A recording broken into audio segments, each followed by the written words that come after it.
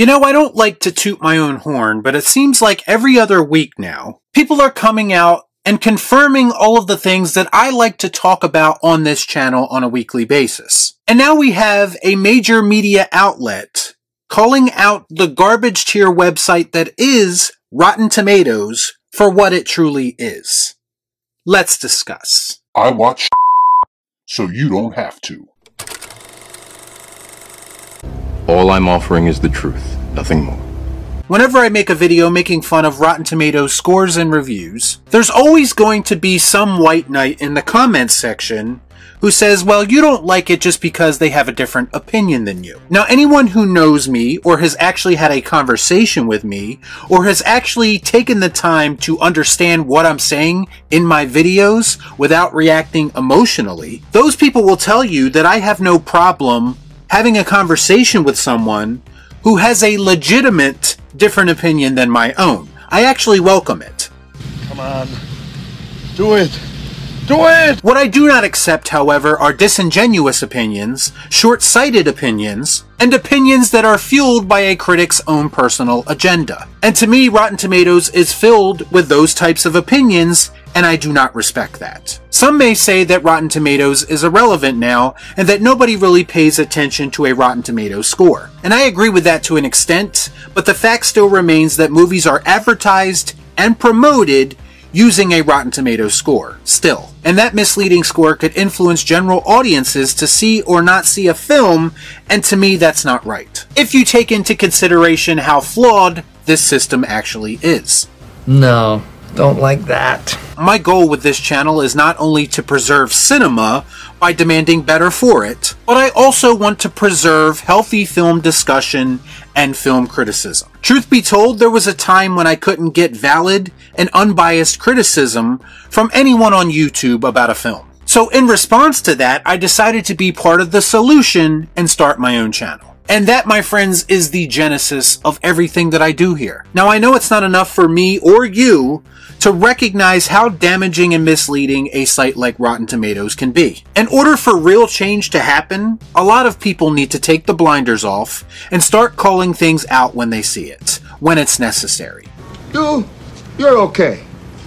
This one, real fucking ugly. So I came across this article from Vulture that's titled The Decomposition of Rotten Tomatoes. The most overrated metric in movies is erratic, reductive, and easily hacked, and yet Hollywood is in its grip. I like the way this is starting off already. The article begins by telling a story of how a Daisy Ridley led retelling of Hamlet in 2018 scored a 46% on Rotten Tomatoes initially. Soon after that, the movie publicity company called Bunker 15 quickly realized that a Rotten Tomatoes score is never final, and they took action as this was a film that they represented and the film needed all the help it could get without a domestic distributor as of yet. Apparently this company pays more obscure critics, not from large publications, a fee of $50 or more per review. The idea is to get more input from different critics, as the critics who already reviewed the film were quote unquote too harsh. These are actual quotes from an actual email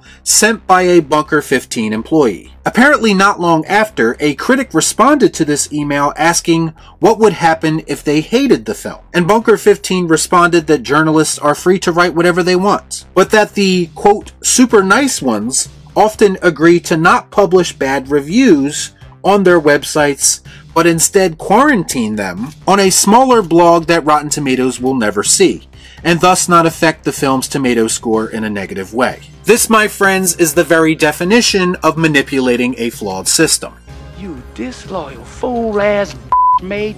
There were also claims that one of these obscure critics who gave the film a negative review was encouraged to change it by Bunker 15. After all of this took place, by the next month the film's score flipped to a 62% on Rotten Tomatoes, and it acquired a distributor, IFC Films, for its US release. Filmmaker Paul Schrader was quoted in the article saying studios didn't invent Rotten Tomatoes, and most of them don't like it. But the system is broken, audiences are dumber, normal people don't go through reviews like they used to. Rotten Tomatoes is something the studios can game or exploit, so they do.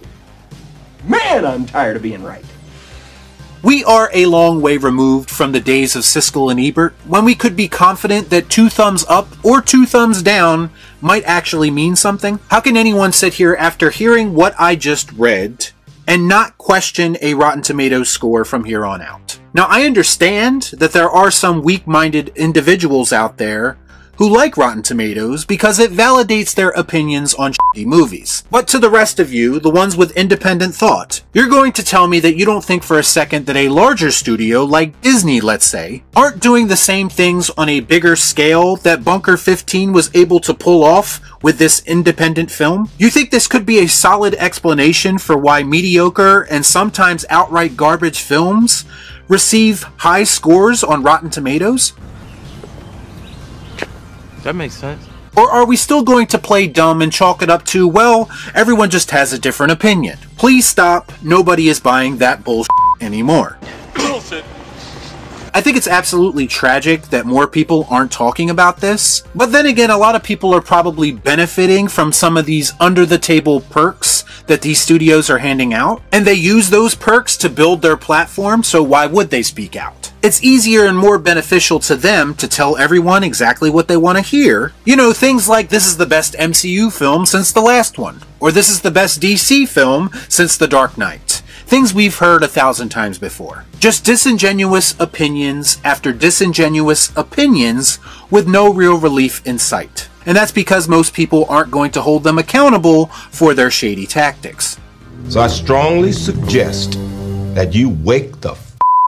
Do you know how many people come to my videos on a weekly basis to tell me that I'm in the minority because the Rotten Tomatoes score says that this movie is good? They're trying to discredit me with ridiculous reviews that most likely aren't even legit. If being in the minority means that I'm not a part of this lying culture and means that I'm an advocate for independent thought, then being in the minority is exactly where I belong. Do you know how many movies were catapulted to undeserved success because of Rotten Tomatoes? Do you know how many movies were undeservedly deemed a failure because of what some clown on Rotten Tomatoes said about it? It's disgusting because it's damaging to film, to artistic integrity, and to film criticism as a whole.